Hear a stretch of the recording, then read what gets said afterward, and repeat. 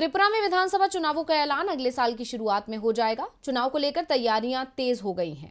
BJP पहली बार त्रिपुरा की सत्ता में आई, उसके लिए सरकार बचाने की सबसे बड़ी चुनौती है।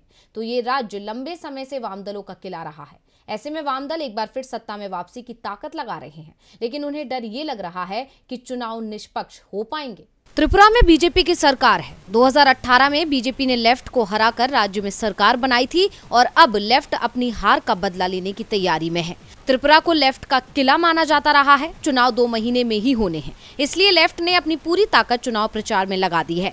सीपीएम नेता और राज्य के पूर्व सीएम माणिक सरकार पूरे राज्य का दौरा कर रहे हैं। उन्होंने चुनाव आयोग से मांग की है कि राज्य में निष्पक्ष चुनाव कराना सुनिश्चित किया जाए। जिस तरह से राज्य में लोकसभा, पंचायत, निकाय चुनाव और तमाम उपचुनाव हुए, वैसा नज़ारा विधानसभा चुनाव में नहीं दिखना चाहिए। क्योंकि राज्य में जो भी चुनाव हुए, उसमें बीजेपी के पक्ष में जमकर फर्जीवाड़ा किया गया।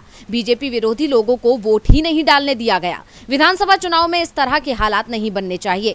दक्षिण त्रिपुरा की एक रैली में उन्होंने पार्टी कार्यकर्ताओं से भी कहा कि सभी संगठित रहें, जिससे वोटर चुनावों में स्वतंत्र रूप से अपने लोकतांत्रिक अधिकार का इस्तेमाल कर सकें। जो लोग स्वतंत्र और निष्पक्ष चुनाव को रोकने की कोशिश करें, उनका डटकर मुकाबला करें। दरअसल माणिक सरकार को इस बात का डर लग रहा है कि विधानसभा चुनावों में मतदाताओं को वोट डालने से रोका जा सकता है और वोटिंग आठ से दस प्रतिशत कम हो सकती है। दो हज़ार अठारह में विधानसभा चुनाव में त्रिपुरा में इक्यानवे प्रतिशत से ज़्यादा वोटिंग हुई थी। राज्यों में भारी मतदान होता है।